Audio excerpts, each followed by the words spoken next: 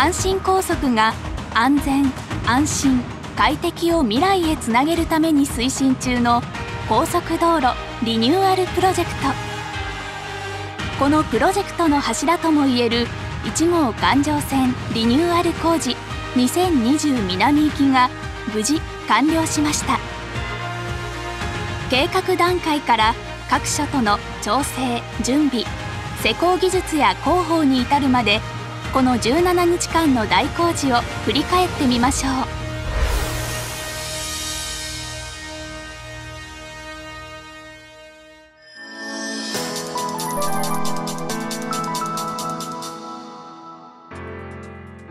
1号環状線は放射状に伸びる他の路線と接続しているため通行止めが及ぼす影響が甚大で車線規制による大きな工事が行いづらい路線です。応急的な処置を繰り返し行ってきましたが開通から50年以上が経過し抜本的な修繕が必要な箇所が出てきました。そこで2020年に南行き2021年に北行きと2か年にわたって構造物の長寿命化を目的とした通行止め工事が実施されることになりました。2020年度は11月10日午前4時から11月20日午前6時までの10日間。梅田から夕日が丘間と12号森口線の南森町扇町付近が対象です。11月20日から環状線は全線で通行可能としましたが森口線の一部区間ではコンクリート床板の取り替えが必要なため27日の午前6時まで引き続き工事を行いました。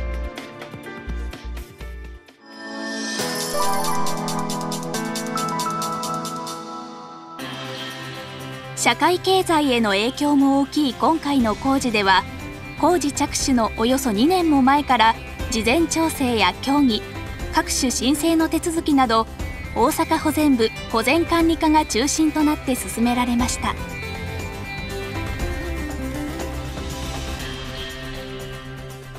交通影響がですね、え大阪府域、え大阪府内、え広域に及びますので、ま、その辺りですね交通影響最小化を目的にしまして、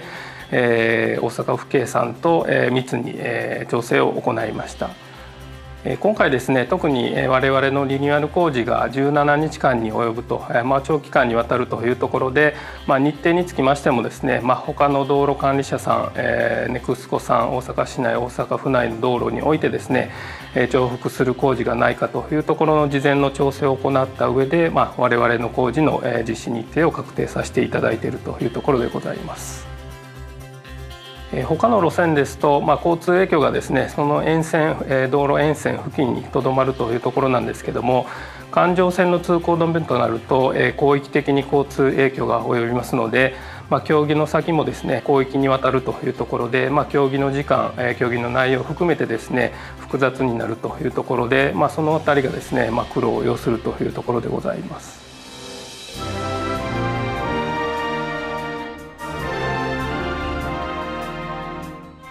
2020年11月10日午前4時環状線の通行止め区間の入り口が封鎖されおよそ20年ぶりの大規模な修繕補修工事が始まりました。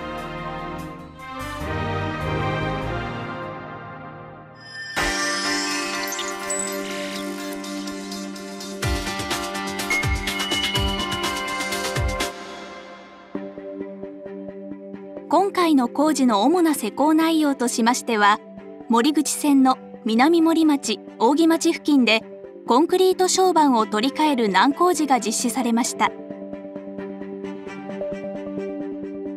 はい、床板というものはですね路面の下にある橋の床板のことを床板と呼んでおりましてコンクリートで作られているものをコンクリート床板と呼んでおります。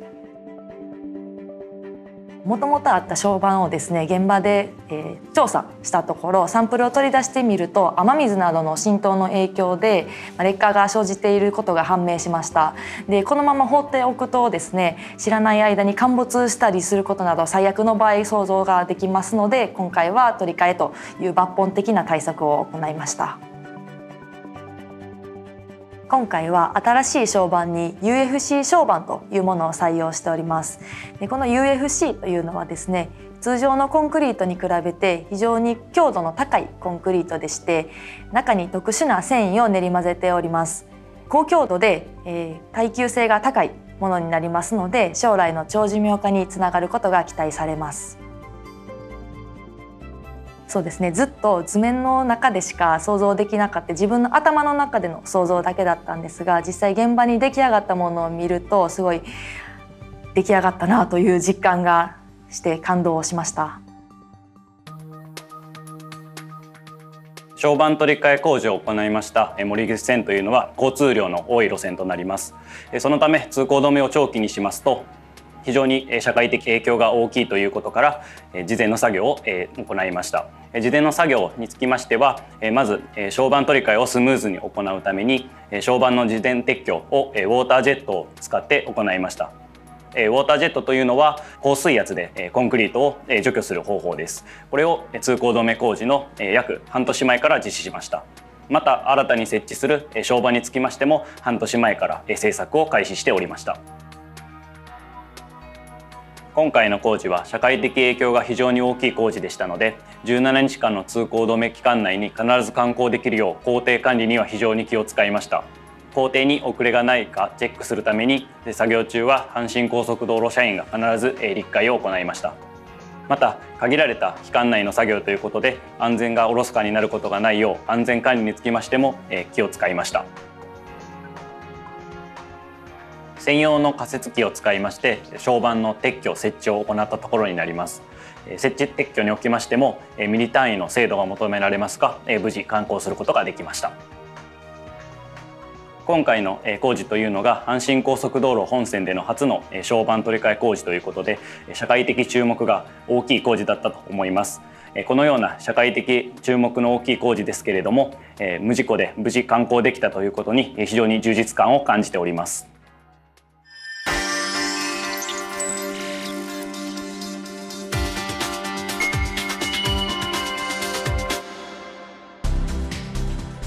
またコンクリート床板の上面には2層の防水層を組み合わせた高性能な床板防水を施工しました。これで床板への雨水の侵入が抑えられより長寿命化を図ることができます。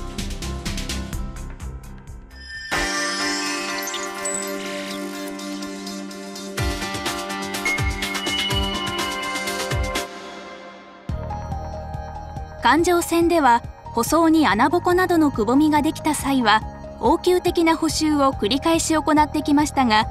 今回のリニューアル工事で全面的に舗装を打ち替えました。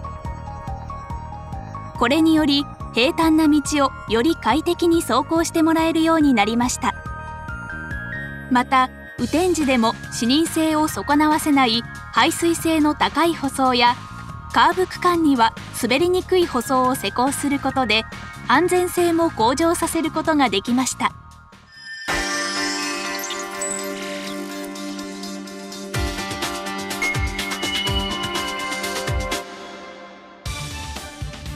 橋梁のつなぎ目になるジョイントでも段差などの損傷が見つかっていました。これは走行の快適性の低下だけでなく振動による沿線環境の悪化にもつながるものです。耐久性の高いジョイントに一新することで長寿命化だけでなく走行性の向上と沿線環境の改善も図ることができました。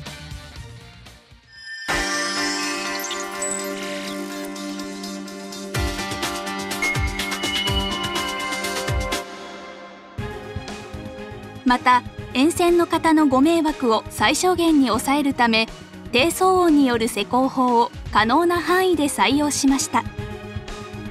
一部区間では電磁誘導加熱技術による IH 式の舗装撤去工法を実施しました。床板を60度から90度に加熱してアスファルト下の接着層を柔らかくしアスファルトを剥がし取ることで騒音を抑え効果的に作業を進めることができる技術です。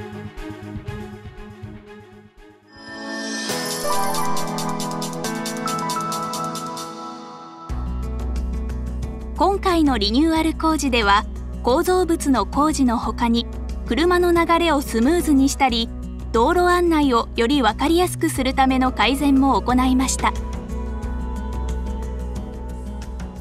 あの特に環状線あの4車線で交通量も多くてですねそれからま分岐がま左右にま連続していくというところで非常にあのお客様もどこで分岐していいのか自分がどこで分岐すべきなのかとわからないといったところで誤って手前で降りちゃったりとかですね、まあ、そういったあの事象がですね特に環状線では多いというところになってます。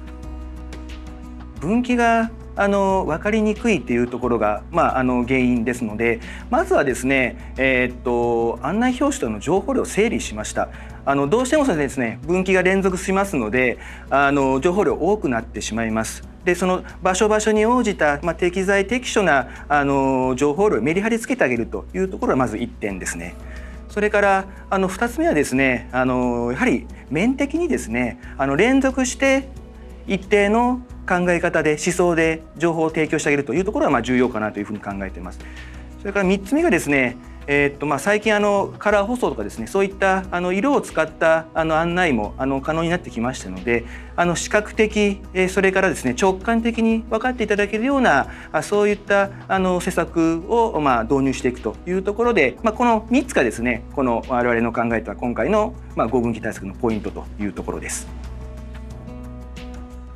そうですねあの我々としては非常にいい形になったかなというふうに、え感じております。えー、あの工事後にお客様へのですね、まあ、アンケートも実施しておりまして、まあ、その中でもあの非常に好意的なご意見多数いただいております。あのまだまだ改善の余地はあるのかもしれないです。あのそのあたりをですね今後きっちり検証して、まあ、次の北行きに向けてより改善を図っていきたいというふうに考えています。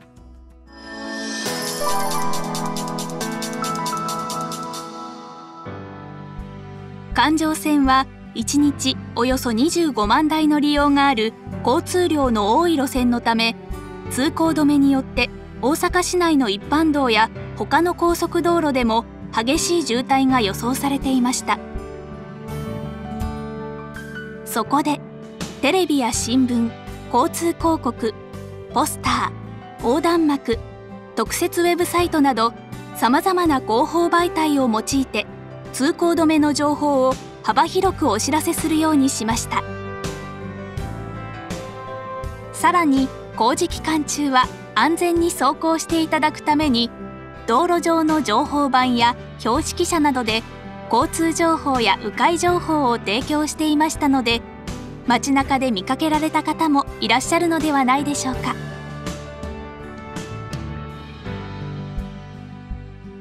ポスターやリーフレットなどさまざまな広報媒体を使ってあの広報を行ってきたんですけれども特に特設サイトに力を入れてまいりました。